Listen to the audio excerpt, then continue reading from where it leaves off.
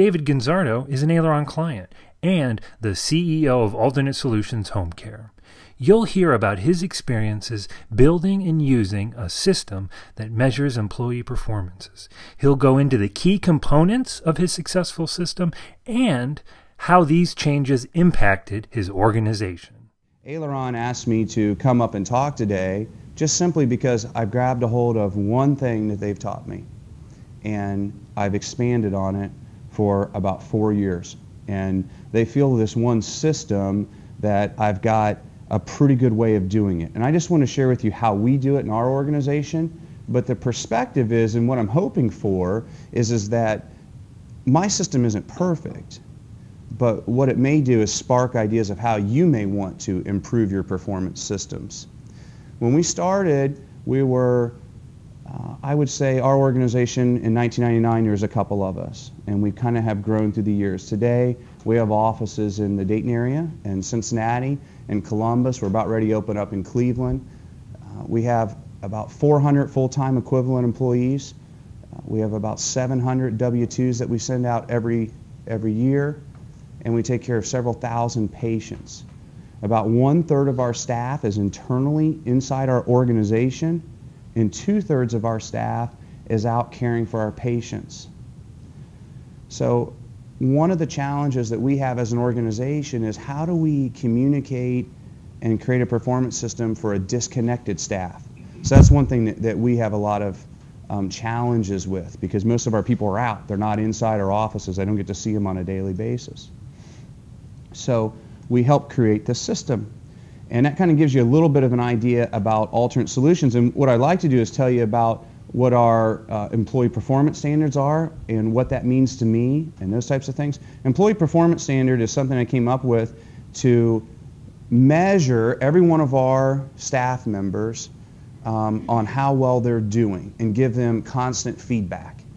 Um, some people do that through a yearly evaluation. Some people do that quarterly.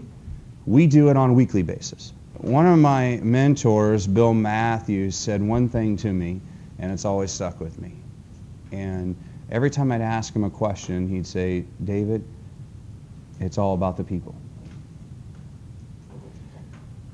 Bill said that to me. I, I, am a student of the game. And what I mean by that is I'm an absolute passionate learner, researcher, and I will not stop until I get answers.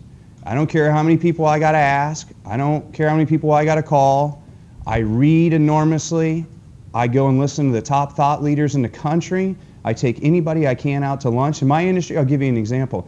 I will fly across the country to find the people who are the very best in my industry and say, look, I know you're the best at what you're doing in this particular area. Will, if I come up and take you to lunch, will you share with me how you do it? I am not a competitor of yours.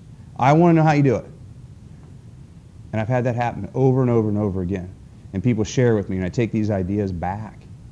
And I'll tell you one thing that I've come to realize Bill Matthews is right. It's all about the people. I think one of the main differences in why companies are successful versus ones that aren't, it's simply the people that are inside your organization that make the difference. With that being said, we're all leaders of our organization in one way or another. It is our responsibility, in my opinion, to go the extra mile, to go the extra effort, to get a system in place that gives people feedback on how they're doing or how they're not doing. I had to admit I had a problem. I'm responsible for hundreds and hundreds and hundreds of people's lives and their family members and all the things they're doing. I had to put a system in place because my system was terrible. I couldn't even retain 25% of my own staff. That's how bad I was. I was turning people, I was a hiring machine. I hired people like it was just the only job I had. How many people can I get in? How many ads can I run in the paper? Let's get more people, more people. I can produce more people. But I couldn't produce the results I needed. When we started our journey, and I mentioned this here, there was a lot of uncertainty and discontent um, among our employees.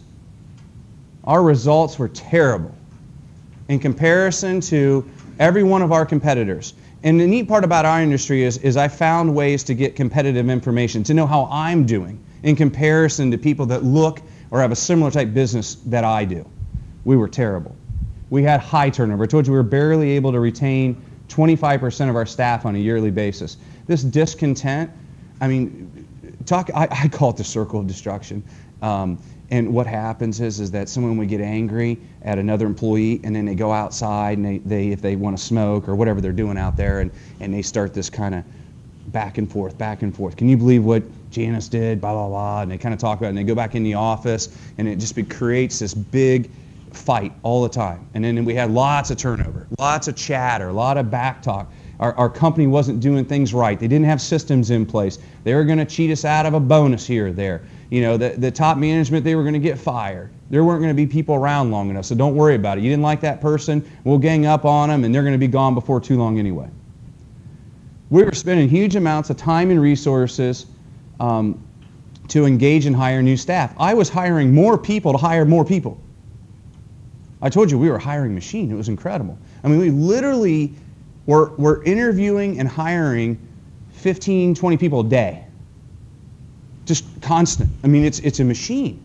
Um, some of our employees are very um, low income earners. They earn minimum wage and you know, they, they go out and they do this home health aid type services. It's a very difficult job, number one. And, and number two, it's, it's hard to get people to, to want to do that type of work. Um, so, what happened? I quit, is basically what, what we ran into a lot with these poor results. So I said, how am I going to get better? You know, that, that was the, I think, one of the keys to what we need to do. And again, I had to admit that I was doing something wrong, number one. I am responsible. David. Not this is Al's job, who's our CFO, not Linda, who's our is our director of organizational development, who heads up HR. It's Linda's fault. It's not Linda's fault. It's David's fault. David is responsible. David needs to make the change. So I went out and I started asking everybody that I could. Tell me how to do it. I told you about how I go out and I get ideas from people. I want to know how to be better.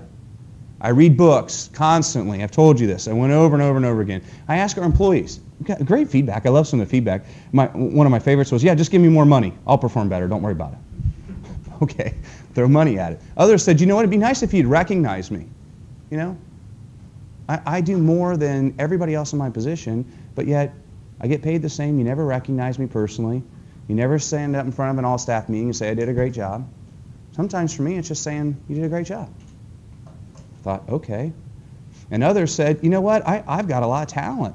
But the problem is, you asked me to do something and it's new to me. No one's ever trained me on it. I've got to kind of learn this on my own.